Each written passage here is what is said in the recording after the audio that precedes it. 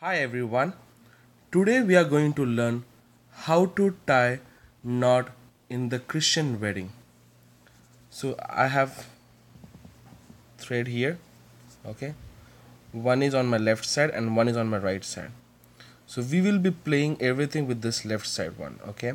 So I have to bring the left side string on the top of my right one and then I have to fold like this and then the right one I have to put it on my left one.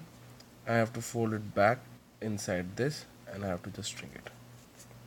Also we have to make sure that after threading the both ends should be parallel like this. Thank you